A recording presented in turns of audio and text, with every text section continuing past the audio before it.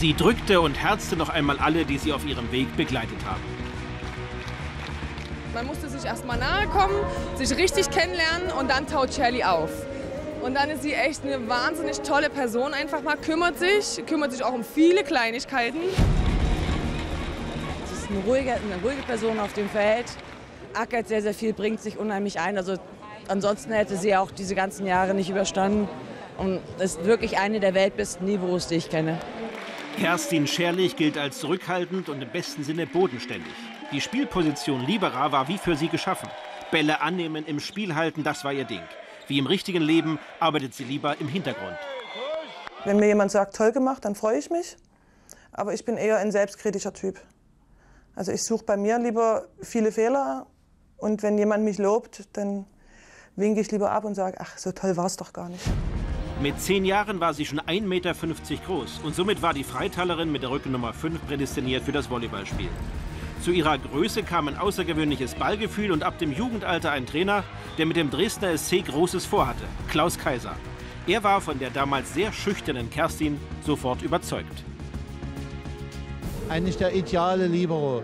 Nicht im Vordergrund stehen wollen, aber immer mit einer perfekten Leistung glänzen. Ja, sie ist, war nie intrigant, sie hat nie irgendwelche Mucken gehabt oder ähnliches. Sie hat immer fleißig gearbeitet. Kaiser führte die DSC-Damen zunächst von der Regionalliga in die zweite Bundesliga. Mit Kerstin Scherlich, mit Peggy Küttner und Viviane Leder gelang der erste große Erfolg, der Aufstieg 1997 in die erste Bundesliga. Nur zwei Jahre später der erste Meistertitel. Wer bei diesen Spielen dabei war, wird sie nicht vergessen. Es war die Zeit, als Kerstin von einer zurückhaltenden Spielerin zu einer Führungspersönlichkeit reifte.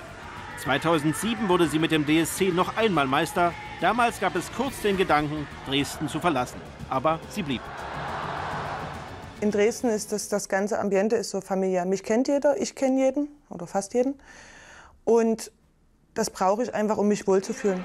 Ein Auf und Ab am Ende der Karriere. Tränen, weil ihr ein letzter großer Meistertitel verwehrt blieb. Seit 2011 wurde der DSC dreimal hintereinander Vizemeister. Den schönsten Erfolg erlebte sie aber davor, 2010, als ihr Team den Challenge Cup gewann.